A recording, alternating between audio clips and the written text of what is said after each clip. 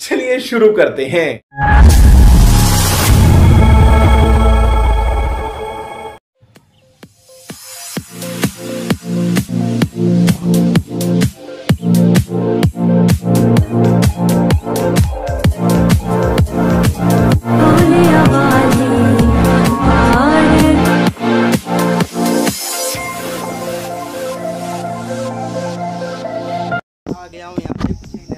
अभी बहुत से दूर के बाद यहाँ पे आया हूँ आज हमें जो गाइड कर रहे हैं तो हमारे गाइड हमारे साथ में हैं।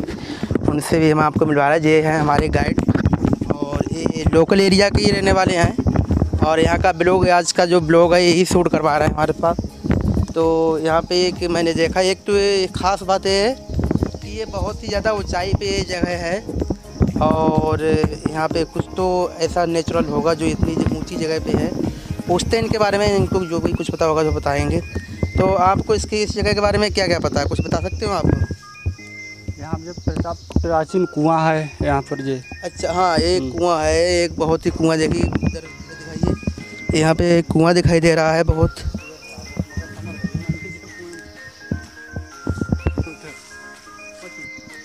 तो यहाँ पे कुआँ जो है बहुत ही प्राचीन कुआँ है। और ख़ास बात यह है ये जो कुआँ है बिल्कुल जंगल में है। यहाँ पे मतलब यहाँ पे कोई आने जाना नहीं होता, इसलिए पड़ चुका कुआँ। लेकिन जहाँ तक मेरा अंदाज़ा है, देखने से लग रहा है काफ़ी पुराना कुआँ है। और यहाँ की जो हरियाली बहुत ही अच्छी लग रही है। और जैसा कि आप देख पा रहे हो, बहुत ही सुंदर जगह है। लेकिन कहीं ना कहीं पे हमारी जो संस्कृति है, इसको खोती जा रही है कि देखभाल यहाँ पे नहीं हो पा रही है इस चक्कर में। ये बिल्कुल विलुप्त होने की कगार पे है। लेकिन हमारा आशय यही रहेगा, मेरा तात्पर्य यही रहेगा कि हम जहाँ तक हो सकेगा, हम पुरानी पुरानी चीज़ों को दिखाने की कोशिश करते हैं और यही हमारा ब्लॉग है। तो गाइस, जैसा कि एक तो एक जंगली क्षेत्र है, बिल्कुल आप कैमरे में देख पा रहे हो और यहाँ पे मैंने सुना बड़े बड़े सांप भी रहते हैं तो मुझे बहुत ही सोच समझ के चलना पड़ेगा और हमारे साथ जो गाइड है, आज हमको गाइड कर रहे हैं। काफ़ी इनका मैं धन्यवाद कहूँगा इनके लिए। और यहाँ पे कुछ, और कुछ देखने काबिल है यहाँ पे क्या? देखने काबिल नहीं नहीं, आपने बताया था कुछ और भी अन्य जगह है जो बिल्कुल ओल्ड टाइप की है, पुराने टाइप की है। आगे अच्छा वो आगे है। तो गाइज़ अब हम आपको ले चलते हैं नेक्स्ट वाली जगह पे नेक्स्ट लोकेशन पे। और बने रहिए हमारे साथ, देखिएगा पूरा वीडियो चलते हैं हम आगे। तो अब हम चल रहे हैं यहाँ से अगली लोकेशन पे। और हमारे साथ यहाँ के एक लोकल के बंदे मिले हैं इनके बारे में कुछ पूछता हूँ। आप क्या यहीं के रहने वाले हो? अच्छा अच्छा। तो ये जो जगह है कितनी पुरानी होगी लगभग में?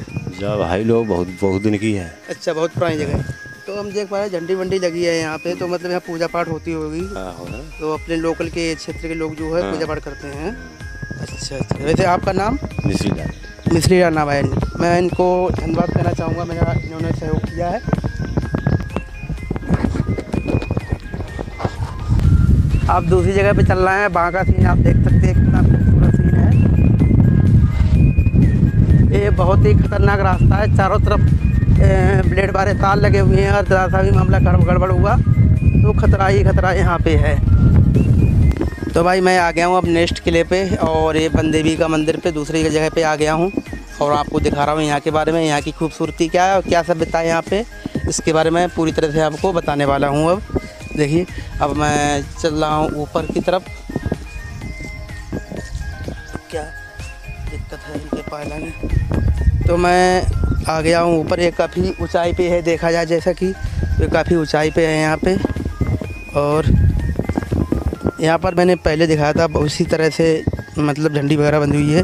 पूजा पाठ यहाँ पर भी होता है और बहुत ऊँची जगह पे है। जंगल में है, बिल्कुल जंगल में।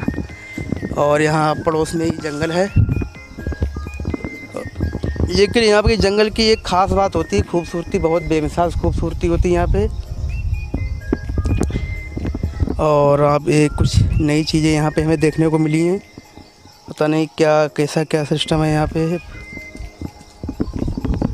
तो आप यहाँ के बारे में कुछ बताइए यहाँ, क्या मतलब क्या सिस्टम है यहाँ का मतलब कैसा है, क्या चीज़ है यहाँ पे? ये यही है, राजा के पुराने पुराने किले हैं ये ठहराव गए खस के सारे अच्छा जो राजा को मतलब कौन से राजा?